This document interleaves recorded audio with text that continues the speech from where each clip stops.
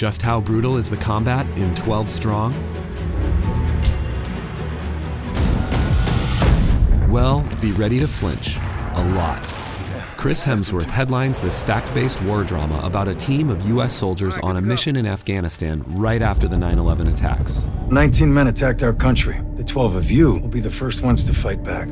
Not surprisingly, guns and fighting take center stage here. Oh, So expect a fair bit of gore, including severed body parts, plus all kinds of deadly weapons and a disturbing execution.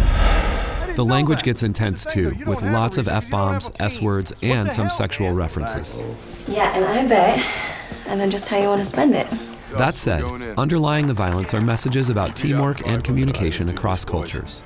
The greatest weapon in history is this. Common Sense says 12 Strong is okay for teens 15 and up. For more age appropriate media picks, visit us at commonsense.org.